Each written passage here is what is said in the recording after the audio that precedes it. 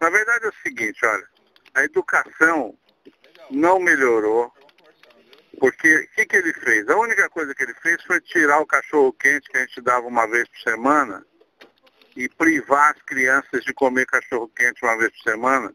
Crianças que muitas vezes não conseguem comer nem uma vez por mês, porque o pai, a mãe não conseguem comprar.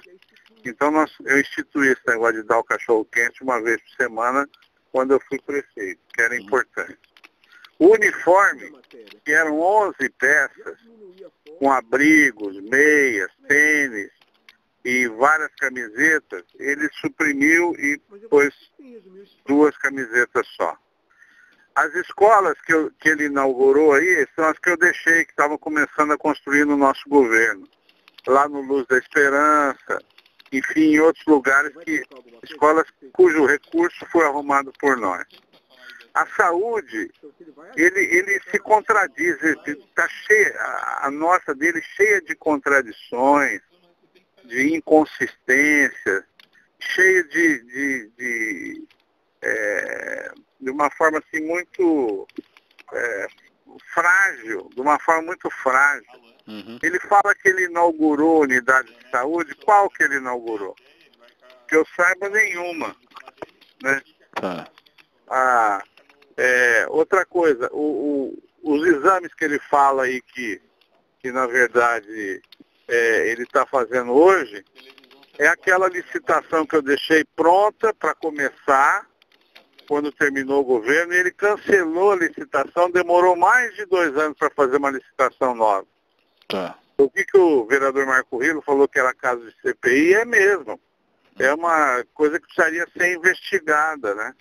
Não sei se se consegue fazer isso na atualidade aí.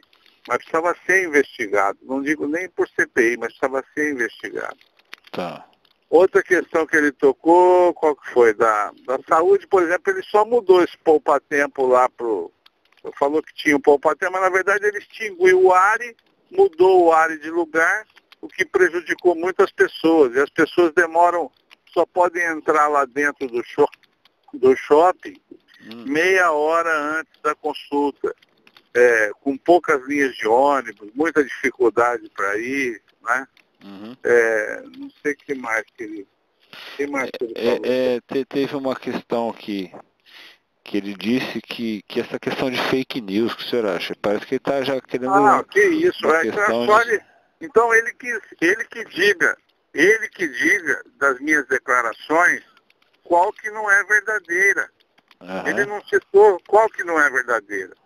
Tudo que eu falei é a tradução da verdade e da realidade. O que eu fiquei, foi todo esse tempo fiquei quieto, porque não queria é, dar a demonstração que estava contra.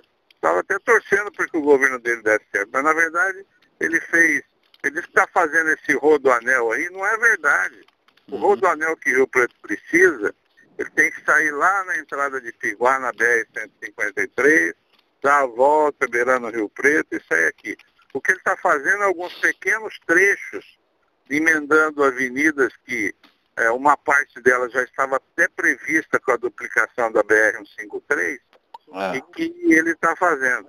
A BR-153 não é, não é uma obra que quando ele foi prefeito, ele não teve, ele licitou e não teve coragem de dar ordem de serviço. Não teve coragem de dar ordem de serviço. Eu precisei recuperar a BR, refazer o projeto, porque não tinha é, licença ambiental do IBAMA, é uma, é uma rodovia federal, o IBAMA precisa se pronunciar.